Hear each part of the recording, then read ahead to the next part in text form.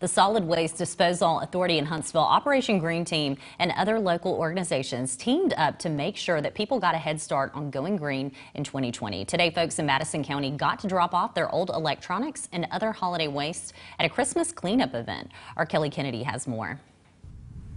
People who needed to get rid of their live Christmas trees and those leftover cardboard boxes from the holidays had the chance to do just that today. And it was all done in a green way. Everybody's always wondering what to do about their Christmas trees, their live Christmas trees. Well, you know, we're actually mulching them today, and then that mulch is going to be used by the City of Huntsville, City of Madison on projects that we'll be mulching anyway. Saves us money. Those who got new TVs, cell phones, and laptops for Christmas got to drop off their old ones today. There are heavy metals in old electronics, particularly old monitors. It, uh, the, those old CRT monitors had a lot of lead in them. Lead will leach uh, in the groundwater and all.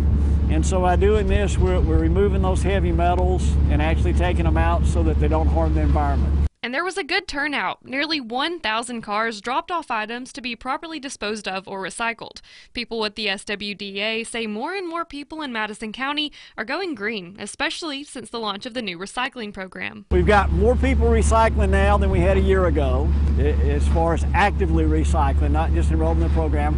Our volumes are up, and we think they will continue to go up. People at the event say they hope 2020 is an even greener year. We're, we're not where we need to be, but we're, we're, we're doing a lot better in that regard. I hope that our recycling program here in Huntsville continues to grow. People are passionate about it, and we certainly appreciate, you know, people doing events like this. If you missed this event today, the Solid Waste Disposal Authority is always taking old electronics. You can drop them off at 1055 A Cleaner Way on weekdays. Putting the Valley first, Kelly Kennedy, WZDX News.